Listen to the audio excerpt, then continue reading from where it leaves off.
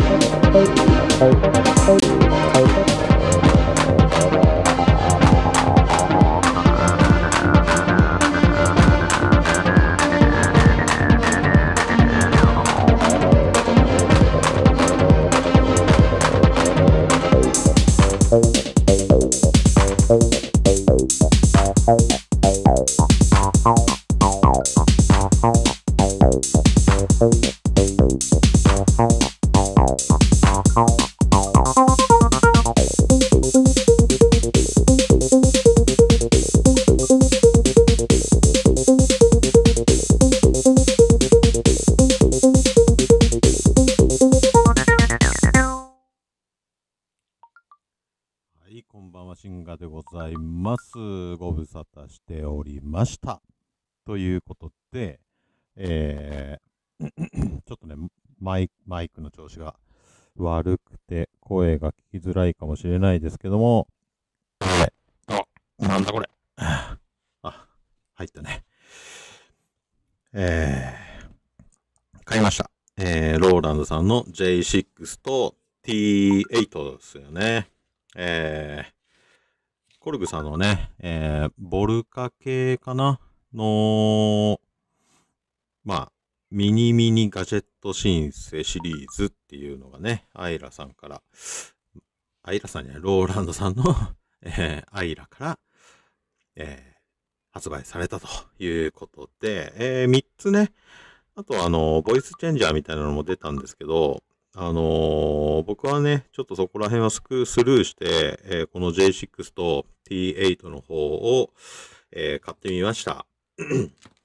今ね、え届いてね、早速開封して、え電源入れてね、プリセ、プリセットで遊んでみたところなんですけど、非常にいいですね。いいっていうかもう、なんて言うんだろう、文句のつけようがないというか、この大きさでこんだけ音が出て、こんだけ遊べればもう十分じゃないかなっていう気がします。で、まだね、説明書とか、あと、僕、YouTube でね、あのー音だけはちょっと聞いてただけなんで、まだね、こいつらにどんな機能が備わってるかって全然知らないまま今いるんですよね。なんで、ちょっとね、えー、今回はね、ほんと初見の、えー、なんだろう、あの、僕の感想だけで終わろうと思うんですけど、まあ次回からね、もうちょっと触ってみて、えー遊んでみて、実際、まあ、個人的にね、ずっと持っていて、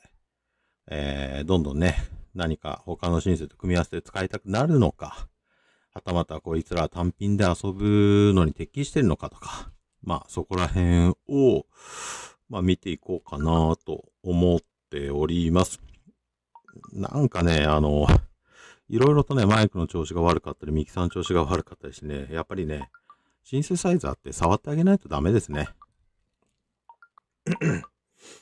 ピコピコピコピコなんか音入ってるしね。なんで、ちょっと今日のところはね、早く切り上げて、えー、シンガは元気ですっていうところと、また当分、えー、こいつらで遊んでいきたいと思います。ちょっと聞き苦しいんで、えー、また次回お願いします。ではまた。